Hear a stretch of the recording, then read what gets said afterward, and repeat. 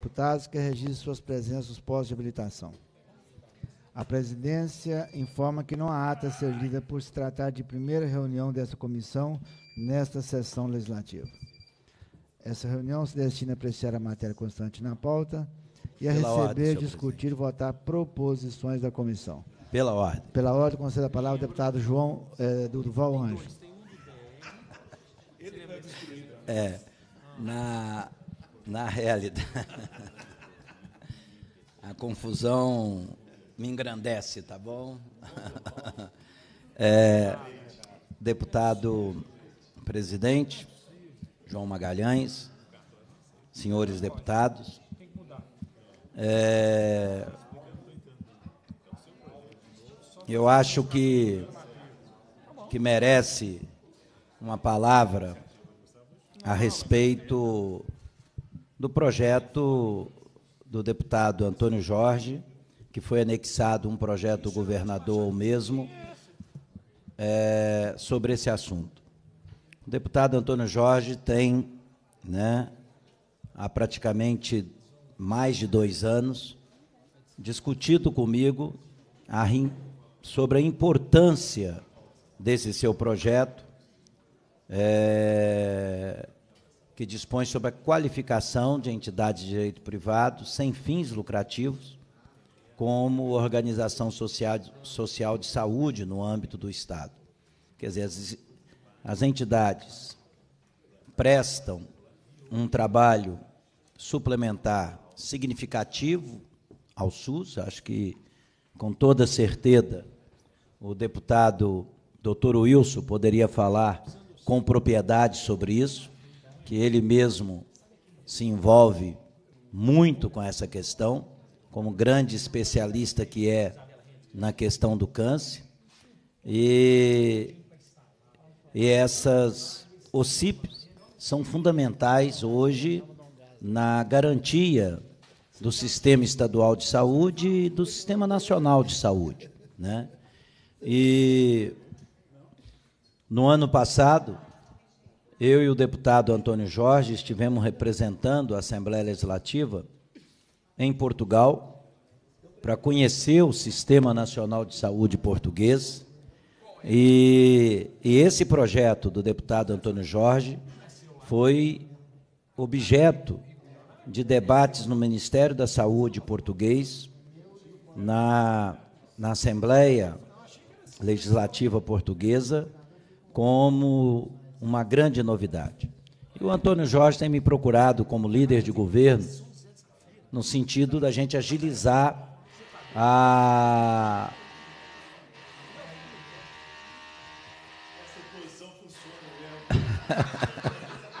Eu estou achando que é, João Leite.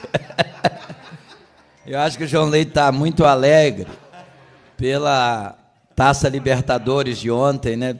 Está muito alegre, uma alegria enorme.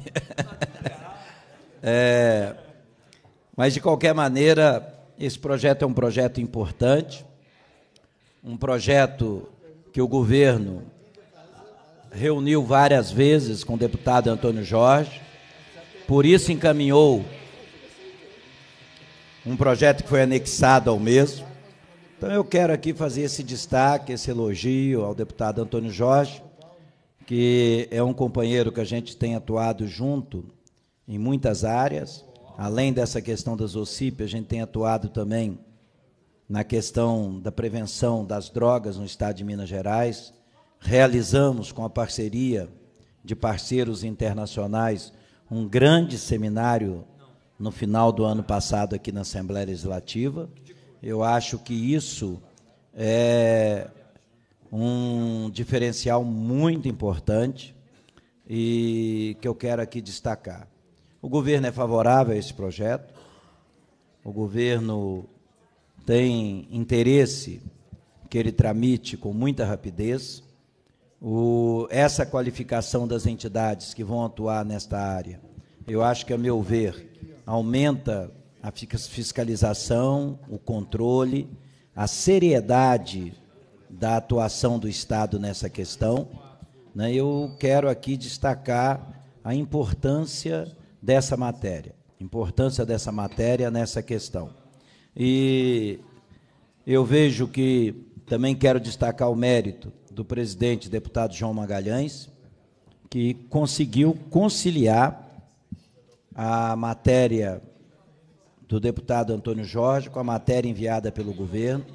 O projeto ganha muito e a garantia que ele vai ter a sanção também, porque na realidade tinha algumas questões que precisavam ser precisadas melhor no projeto, delimitada de forma mais efetiva. É, é, nesse sentido, é, nesse sentido, a gente quer fazer esse destaque e registrar esse elogio. Parabéns também, então, ao presidente da Assembleia por ter conciliado os dois textos. Pela ordem, senhor, senhor presidente. Pela ordem. Sim, tem Vossa Excelência a palavra. Muito obrigado, deputado João Magalhães. É, queria saudar os outros deputados aqui presentes, o líder do governo, deputado Val Ângelo, deputado Sávio Souza Cruz, meu líder, deputado Gustavo Valadares, Vossa Excelência, deputado João Magalhães. Nós, é, novamente, estamos na Assembleia Legislativa diante de uma proposta que nos remete àqueles momentos líder cacheta, aqueles momentos mais tenebrosos da Assembleia Legislativa. O bom é que a gente vai aprendendo, a gente vai tendo experiência. Eu aprendi demais com o deputado Val Ângelo na oposição. Nessa altura do campeonato, já jogado algumas rodadas, deputado Val Ângelo, junto com o deputado Sávio Souza Cruz, o deputado Sávio Souza Cruz ficou assim, ouvindo os elogios do deputado Val Ângelo, ao ex-secretário de Saúde do Estado, deputado Antônio Jorge, uma figura maravilhosa, um grande deputado e com grandes propostas. E eu fico lembrando aqueles tempos áureos do deputado Durval Ângelo na tribuna da Assembleia Legislativa. Que espetáculo! Nessa altura do campeonato, se fosse o Durval Ângelo, diria uma coisa, vou guardar mais. Se fosse Sávio Souza Cruz na oposição, Dona Geralda, minha mãe, assistindo e me perguntando: esse menino é filho mesmo? Hein? Ele é filho mesmo, doutor Souza Cruz, que foi meu secretário quando eu era da Secretaria de Viação e Obras Públicas. Esse menino é filho do meu secretário? É, mãe. É filho do seu secretário, não é, mãe? Esse menino foi criado por ele e ficou desse jeito. É uma coisa assim, impressionante. Minha mãe, ela fica assim, mas não acredito que esse menino é filho do meu secretário, aquele homem bom. É, mãe. Esse Sávio Souza Cruz é filho dele. Sávio Souza Cruz diria o seguinte: essa é uma manobra do governo tucano para rapar o tacho. Vai rapar o tacho. Não vai sobrar nada. Vai arrancar até vai arrancar até o fundo do tacho de tanto rapar. Diria Sávio Souza Cruz, da tribuna da Assembleia Legislativa, com toda a inteligência que ele tem, não é? e que é usado dessa maneira. Não é? Ah, apontado contra os tucanos, nesse momento esse homem estaria esguelando na tribuna da Assembleia Legislativa. Aí seria Sávio Souza Cruz. Se fosse Durval Ângelo, Retorno. diante dessa manobra feita aqui, é? chamaria esse projeto de hospedeiro. É o hospedeiro. Vem aí agora um Frankenstein. Os tucanos estão propondo um Frankenstein, cacheta. Assim discursaria da tribuna da Assembleia deputado Val Anjo. Que manobra, hein, gente? Que manobra para entregar o último ativo que pertence aos mineiros. Que vergonha para a Assembleia Legislativa, Cacheta. Nós que estamos aqui há tantos anos, que vergonha. A toque de caixa. Esse, essa é a emenda que entrou aqui nesse hospedeiro, é a emenda Ben Johnson. Faz 100 metros em menos de 10. É um negócio assim espetacular. É o recorde mundial. Só que Ben Johnson, ele corria e conseguiu os recordes dele, mas dopado viciado. Essa é uma emenda Ben Johnson. Ela entra neste projeto e não tem nada a ver. Diria meu líder Durval Ângelo, meu presidente da minha comissão de direitos humanos, que o projeto de Antônio Jorge transforma no hospedeiro para receber essa emenda que vai entregar a última coisa que os mineiros têm, que dá lucro para os mineiros. Está marcado aí agora com a oposição os servidores da Codemig, apavorados. Marcou a mulher que trabalha na Codemig, marcou com oposição, líder Sargento Rodrigues, a mulher do servidor, o marido da servidora, porque eles já sabem quem morre no final do filme desse governo. Morre o servidor público. É algo assim impressionante. Como fizeram isso? Já está aí o parecer. No final do filme, morre o servidor e a população de Minas Gerais vai perder o último ativo que dá lucro para a população de Minas Gerais. O servidor será penalizado e os empresários serão enriquecidos. Que vergonha! Eu estou envergonhado, porque chegou um momento na minha vida que eu acreditei naqueles discursos da tribuna da Assembleia Legislativa,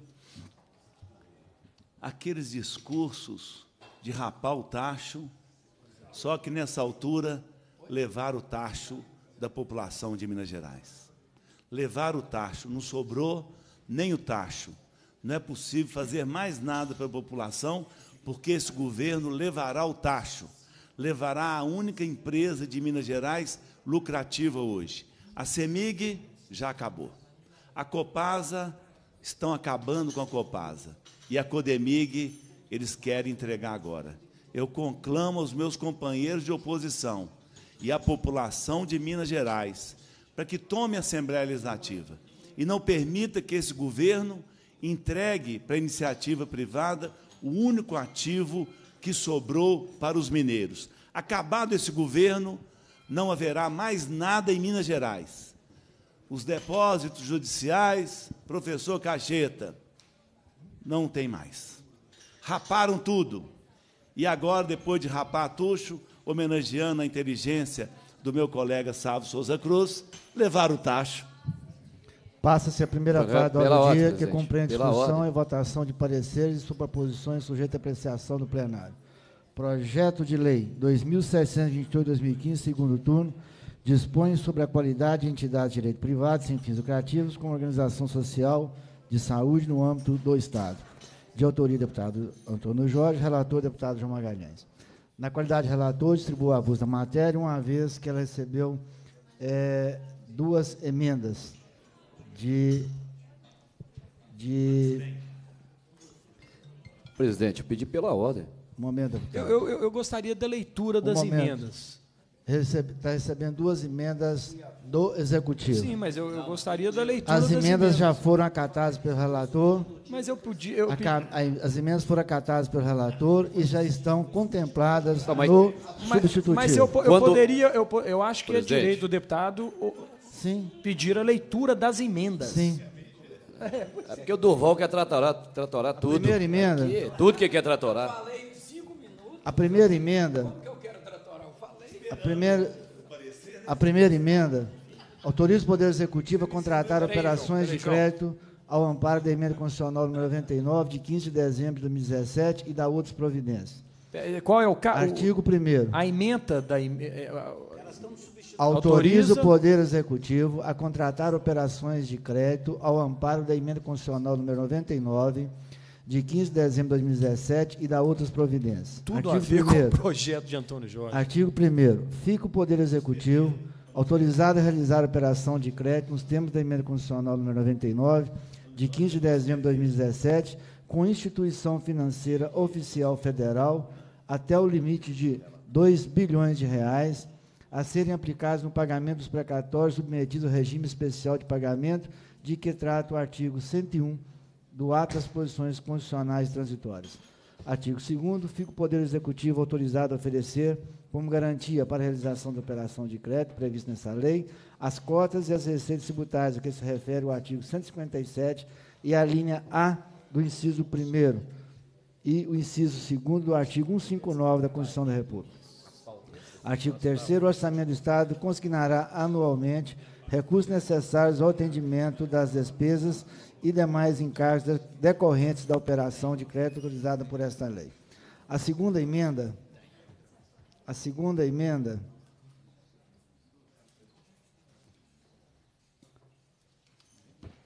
A segunda emenda altera o artigo 22, altera a lei 22.828, de 3 de janeiro de 2018, que autoriza a transformação da empresa pública Companhia de Desenvolvimento do Estado de Minas Gerais, CODEMIC, em sociedade de economia mista. Artigo 1 O artigo 1 da Lei 22.828, de 3 de janeiro de 2018, passa a vigorar com a seguinte redação. Artigo 1 parágrafo 1 para atendimento da finalidade descrita no CAPT, a CODEMIC poderá, observada a legislação federal, realizar operações de cisão, total ou parcial, fusão e incorporação, bem como adotar outras medidas necessárias à consecução de seus objetivos, desde que seja garantido o controle acionário direto ou indireto pelo Estado. Parágrafo 2 O Estado manterá em seu poder, no mínimo 51% das ações com direito a voto, ressalvada a possibilidade de, com autorização legislativa, transferir o controle acionário da CODEMIG, observado o parágrafo 15 do artigo 14 da Constituição do Estado. Parágrafo 3 em caso de operação de cisão, a lei autorizativa da, de criação da companhia Cidenda para todos os fins legais será a mesma lei estadual 14.892-2003 de criação da CODEMIG. 16, 16 horas. Terminar agora. Pela ordem, presidente.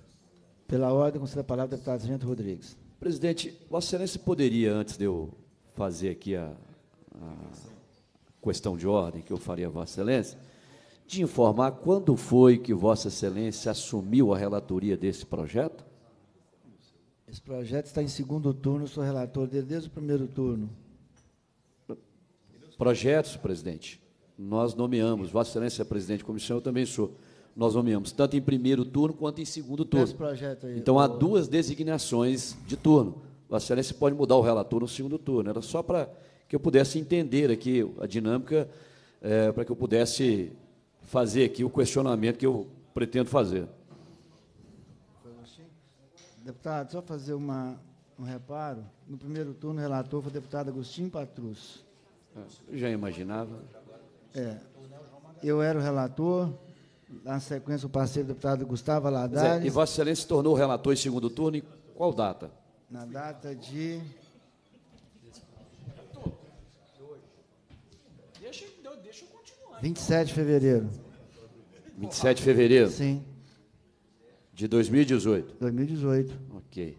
Presidente, Vossa Excelência eu não pedi essa informação, não foi por um acaso. Vossa Excelência percebe que a Vossa Excelência avocou a relatoria dessa matéria ontem e imediatamente pautou uma reunião extraordinária. Eu sou membro efetivo desta comissão, né? estamos aqui já há tempos trabalhando nesta comissão com Vossa Excelência, sob a presidência de Vossa Excelência, e o que a gente percebe é que esse projeto nós vamos aqui, inclusive, apresentar, seja aqui nessa comissão ou lá na CCJ, as emendas que Vossa Excelência aportou aí é absolutamente Frankenstein, ela não tem nada a ver. Nós estamos tratando aqui do PL 27, 2728-2015, que dispõe sobre a qualificação de entidades de direito privado sem fins lucrativos como a organização social, social de saúde no âmbito do Estado. O autor, o deputado Antônio Jorge matéria completamente diferente daquela original do projeto. Lá na Câmara dos Deputados, onde Vossa Excelência percorreu cinco mandatos, lá Vossa Excelência e os seus pares lá em Brasília chamavam de Jabuti. É o chamado projeto Jabuti. Aqui na Assembleia de Minas nós temos outro nome. Aqui a gente trata de uma emenda Frankenstein. É uma aberração, uma aberração sob todos os aspectos. É uma aberração sob o aspecto da incongruência de uma matéria com a outra, nós não podemos deixar essa matéria prosperar da forma que as emendas foram colocadas, porque não, absolutamente não tem nada a ver, é completamente antagônico, né? até porque o que Vossa Excelência está propondo como emenda não pode ser sequer de iniciativa de deputado. Então nós já começamos aí. Não pode ser iniciativa de deputado a questão apresentada.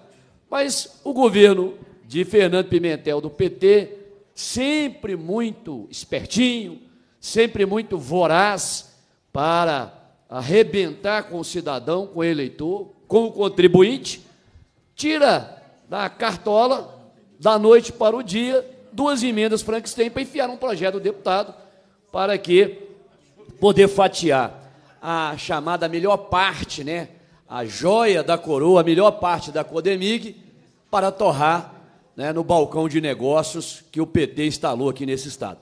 É uma vergonha.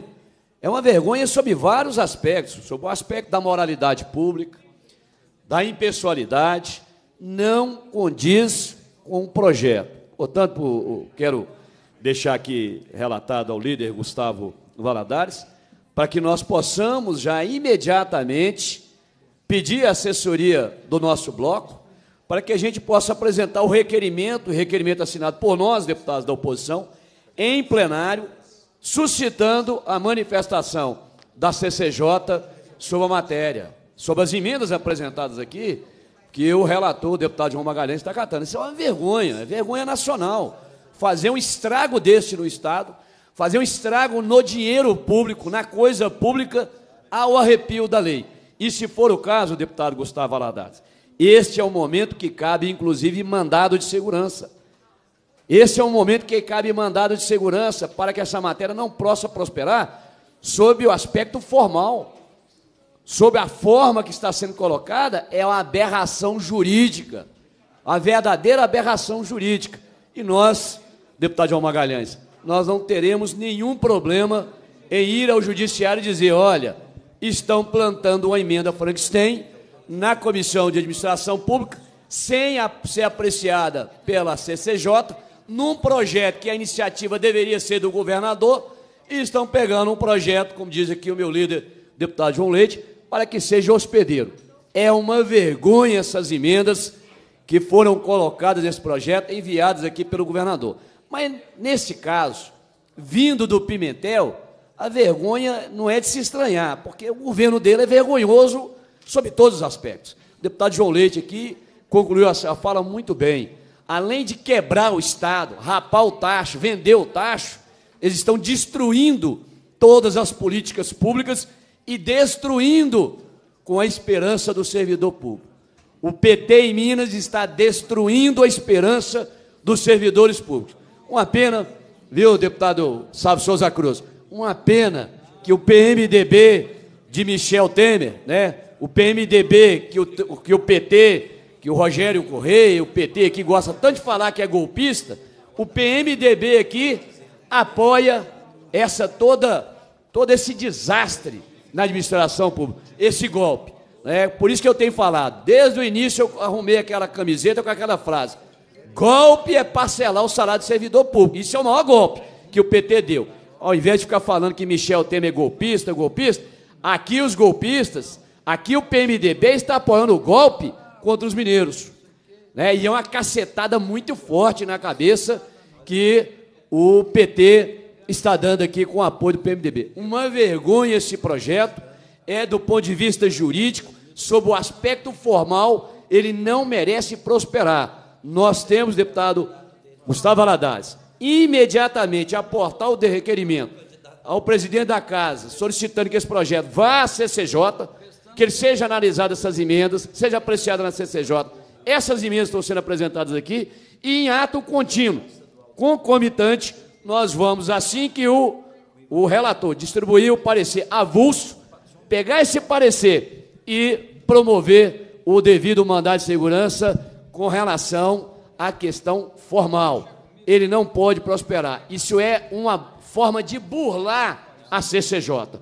Projeto, deputado Alves, a excelência que é operador do direito, esse projeto é um projeto, é, as emendas Frankenstein a um projeto de tramitação normal. As emendas não têm nada a ver com o projeto.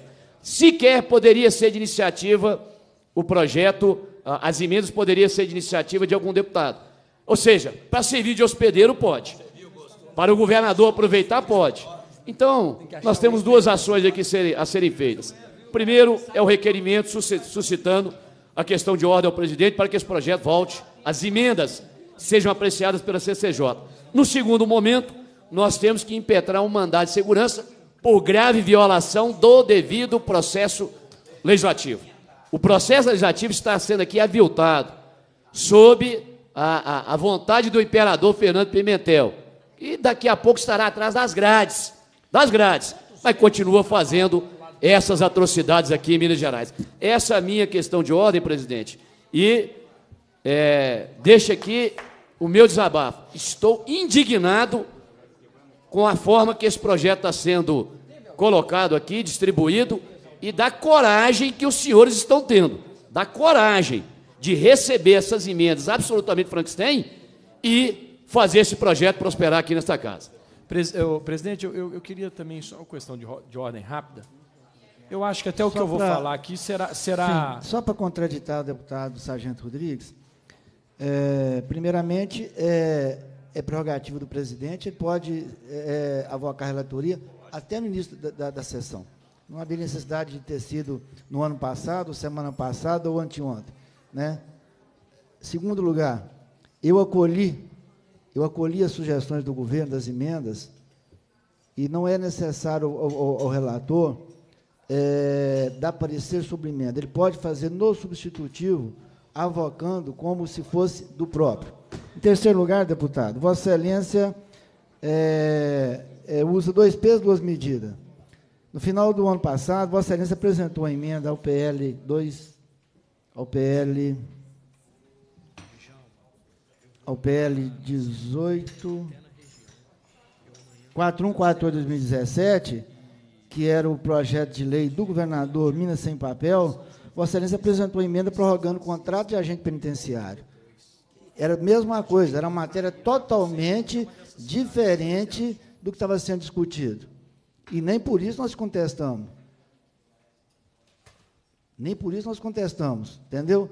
É, dois pesos, duas medidas. Isso aqui é praxe na casa. Agora, Vossa Excelência tem os meios legais e regimentais de contestar o que está sendo discutido e votado na comissão. Presidente, com a pela palavra, eu gostaria de esclarecer com relação à Sim. fala de Vossa Excelência no PL 4148. Sim, Vossa Excelência tem a palavra. Ok. Bom, primeiro que a emenda não é, de, não é assinada apenas por esse deputado. Se Vossa Excelência pedir assessoria, tem mais de 50 assinaturas nessa Sim, emenda. Mas Vossa Excelência que colheu assinatura. Colheu assinatura. E, e se não estou equivocado, salvo melhor juízo, é muito provável que Vossa Excelência assinou a emenda. Muito Com provável. certeza. Pois é. Mas Vossa Excelência... Não, pois é. Eu, então, eu, eu quis te mostrar que, que, que, que os fatos são. Então, a, o equívoco foi coletivo, né? Sim. Porque tem mais de 50 assinaturas sim, de deputado. Sim. Segundo, é muito diferente. O PL 4148 trata da administração pública estadual. Se Vossa Excelência pedir a emenda do projeto, a assessoria de Vossa Excelência não, não foi é, esclarecedora, Vossa Excelência trata da administração pública estadual. Se trata da administração pública estadual, então é permitido. Agora, é possível sim fazer uma emenda. Agora, o mais engraçado disso tudo aqui é que pega-se um projeto tratando de um MOCIP para tratar de vender uma empresa que é dos mineiros. Sabe o que está acontecendo aqui, presidente João Magalhães? É, o governador, ele não é dono do Estado. Não é dono do Estado. Nem nós não... somos. Não entendi? Nem nós somos. Ah, quem somos nós? Sim. Quem somos nós? Nós, nós somos os, os legítimos representantes do povo, nós. Mas nós não vendemos nada, não. Nós, deputado, não. Nós não temos esse condão, não. Né? A não ser avalizar ou não, ou refutar as iniciativas do Executivo. Cabe a nós, da oposição, exercer o poder de exercer o controle e fiscalizar os atos do Poder Executivo. Agora, o governador Fernando Pimentel, que instalou uma quadrilha, uma quadrilha nesse governo, e eu nomei aqui todos os nomes que saíram da acrônimo para ser hoje secretário de Estado e assessor especial, que é uma vergonha para esse Estado, ele não é dono do Estado. Ele não é dono da cidade administrativa, ele não é dono dos prédios públicos, ele não é dono do dinheiro público. Ele teria que ter um pouco mais de respeito ao cidadão, no mínimo, um pouco mais de respeito. Ele não está no balcão de negócio do BNDES, como ele ficou lá, recebendo propina da Odebrecht, da OAS, da CAOA, que só da CAOA foi 45 milhões. Esse Estado não é dele. Isso aqui não é dele, não. Isso aqui é coisa pública. Isso é a res pública. Infelizmente, esse governador, ele é irresponsável com a questão pública.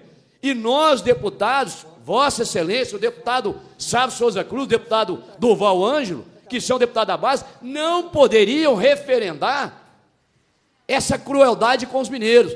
O cidadão que está nos assistindo nesse momento pela TV Assembleia, o governador Fernando Pimentel, quer vender no balcão de negócio a Codemig, que é a empresa mais valiosa que existe no estado de Minas Gerais. Ele vai acabar de quebrar, ele vai decretar a falência do estado de Minas Gerais com a venda dessa empresa. Vai acabar. Ele quer pegar tudo que ele tem de dinheiro e torrar tudo. Ele quer torrar tudo. Essa é a verdade. O projeto, as emendas, é Frankenstein.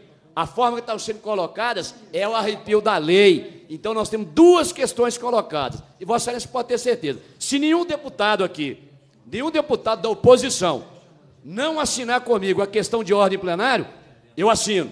Meu deputado Gustavo Valadares, Vossa Excelência como líder da minoria. Se nenhum deputado da oposição assinar a questão de ordem, eu assino. Se nenhum deputado não quiser assinar junto comigo um mandado de segurança para impedir a tramitação desse projeto, eu também assino. Agora, felizmente, deputado João Magalhães, felizmente, nós temos lá na pauta os vetos que vão travar essa matéria em tempo hábil para que a gente impetre o mandato. Uma vergonha, Dalma. O desespero desse governador, a falta de preparo na capacidade de gerir a coisa pública é a coisa mais absurda. É assim algo assim inacreditável. Como é incompetente este governador com seu secretariado para administrar, para gerir a coisa pública. Tamanha incompetência que ele sai torrando tudo que ele tem pela frente. A bocanha de depósito judicial, vende, é, aluga, passa o, os imóveis para a coisa privada receber e pagar 50 anos de aluguel. Seja, tudo que tiver na frente dele, ele vai torrar. Agora, gestão, cortar os cargos, a mamata, a mamata da companheirada que vieram de Brasília, do Rio Grande do Sul, isso eu não faço. Ô cidadão, você que está nos assistindo aí, ó, pela TV Assembleia, o PT inchou a máquina pública de carro comissionado, seis secretarias, CEMIG, Copasa, está tudo lotado da PTzada em cargo comissionado. Aquele cargo sem concurso, por isso que o Estado não avança. Está quebrando o Estado de Minas Gerais, esse governador que está denunciado por lavar dinheiro, corrupção passiva e organização criminosa. Uma vergonha para Minas Gerais. Deputado, só um esclarecimento. Vossa Excelência está falando que nós estamos aprovando que o governo vai vender a Codemic. Isso aí nós já aprovamos no final do ano. Isso nós, nós já aprovamos a venda até 49% da Codemic. O que nós estamos, nós estamos autorizando o governo é fazer a cisão de duas empresas, a Codemig e a Codenge. Com a palavra, deputado Gustavo Valadares. Senhor presidente, eu, é uma pena que o líder de governo, deputado Val Ângelo, tenha saído agora da reunião, porque eu quero fazer aqui uma ponderação. Concordo é, é, com os deputados, deputado João Leite, deputado Sargento Rodrigues, com a, por conta da confusão criada com este Frankenstein agora recém que nasceu agora na Comissão de Administração Pública na Assembleia Legislativa mas eu faço aqui uma ponderação ao governo, ao seu governador, ao líder de governo, ao presidente da Comissão de Administração Pública. Nós temos 14 vetos trancando a pauta. Nem mesmo as comissões que darão parecer sobre esses vetos, sobre a manutenção ou derrubada desses vetos, foi ainda constituída. Sendo bastante otimista, vamos Vamos colocar que isso se resolva esta semana e que estas reuniões possam acontecer na semana próxima. Como são 14 vetos, sabendo que a, a, a, o nosso bloco de oposição está em obstrução, era muito mais inteligente sem, e, e, e, e, com uma pitada de bom senso se o senhor governador e os seus líderes aqui trouxessem este projeto não através de uma emenda Frankenstein, mas que fizesse esse projeto tramitar, passando pela Comissão de Constituição e Justiça, depois pela Comissão de Administração Pública e, e terminando na Comissão de Fiscalização Financeira. Não há necessidade deste atropelo. Nós tem, teremos tempo, teremos muito tempo, enquanto os vetos estão sendo analisados no plenário, para podermos discutir este projeto enquanto ele passa pelas comissões. O que cria? Qual o clima que se cria com, Frankenstein, com esse Frankenstein recém-criado? De que o governo está querendo fazer as coisas às pressas e às escondidas. Mais uma atitude às pressas e às escondidas. Sem que, neste caso, haja esta necessidade, porque não há mágica que faça com que os 14 vetos que hoje trancam a pauta sejam apreciados nos próximos 15 dias em plenário. Não há mágica para que se faça isso acontecer se o bloco de oposição permanecer em obstrução. Então é muito melhor que o governo retire estas emendas e deixe que um projeto de lei encaminhado pelo governador com o mesmo teor tramite por todas as comissões. Não acredito que mudará a minha opinião, nem mesmo do deputado Dalmo Ribeiro, deputado João Leite, deputado Sargento Rodrigues. Mas soará muito mais simpático. Mostrará aos mineiros que não há o que se esconder, que é uma opção daquele que foi, por direito, escolhido governador para governar esse estado por quatro anos. E que, como consequência disso, tem levado Minas ao buraco. Mas é um direito que ele tem. Então, nós podemos ser contra o projeto e a maioria que ele tem aqui na casa ser a favor, isso é do jogo. Mas para que este Frankenstein agora? E mais do que isso, um projeto tão importante quanto esse do deputado Antônio Jorge, que trata da qualificação de entidade de direito privado sem fins lucrativos como organização social de saúde. Traz requisitos para a criação dessas entidades, impõe um regime mais duro para que elas funcionem e, e, e, e sobrevivam no Estado, para que prestem serviço, está estragando um baita de um projeto que traria inúmeros benefícios ao Estado e que eu tenho certeza que, se tramitar da maneira como está, terá o voto contrário do próprio autor. Que ontem, no plenário, na tribuna, levantou a dúvida sobre essas negociações que se envolvem, que, que, que giram agora em torno da venda das ações da Codemig, da maneira como está sendo feita. Então, a minha sugestão, presidente, é para que, neste prazo que teremos, de agora até a reunião das. Vai ser às 16 horas, presidente? Presidente, presidente, a reunião pra, para a votação do avulso será às 16? E 30 e 30. Então, a princípio 16 e neste 30. lapso temporal que teremos de agora até as 16 e 30, que se busque levar ao governo esta sugestão. Não há necessidade desse Frankenstein. Traga um projeto hoje mesmo à casa, a leitura pode ser feita em plenário amanhã, Sim. e ele começar a tramitar na CCJ, Administração e Fiscalização, com certeza antes do, do destravamento da pauta pelos 14 vetos que hoje atravam no plenário. Muito obrigado, presidente. Obrigado, deputado. Com a palavra, deputado Dalmo Ribeiro Silva. Muito obrigado, presidente. Somente aqui uma reflexão muito rápida a respeito da história da tramitação desse projeto da Codemig. Veio aqui como se fosse um, um avião a jato. Rapidamente tinha que se decidir, aprovar e mandar para o plenário. Nós fizemos, com apoio do nosso bloco, o pedido da presença do, presidente da Cotemi, Castelo Branco, para expor para nós as razões. E os deputados estão lembrados. Aqui ele veio, falou, falou, falou e não falou nada. Não apresentou nada que pudesse justificar, louvar, inclusive, a iniciativa de venda das ações da Codemig. E quando inicia a questão viciada, rápida, ela vem realmente dando desdobramentos ruins, a exemplo da emenda agora apresentada, em cima de um projeto que é realmente legal, proposital, e vem o governo tentando também, a toque de caixa, fazer com que isto possa ser para resolver a sua questão de um projeto aprovado contra a nossa vontade, trazendo prejuízos aos cofres do Estado. Então, quero também manifestar totalmente essas emendas. Não é desta forma como se fez, já conseguiu seu intento, já conseguiu, contra a nossa vontade, a autorização legal para fazer, mas ele esqueceu também de apresentar o projeto na sua regulamentação, conforme ontem a sua fala nos jornais, publicamente, está mandando aqui ao Estado, à Assembleia, para adequar, regulamentar questões que deveriam ser, pelo menos, levantadas no bojo do processo inicial.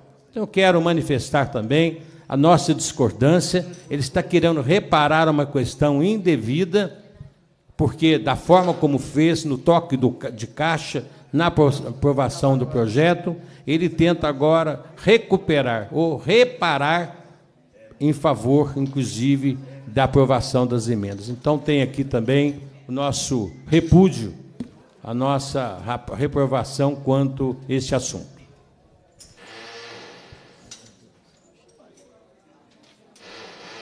Não há, não há nenhum requerimento a ser deliberado em terceira fase.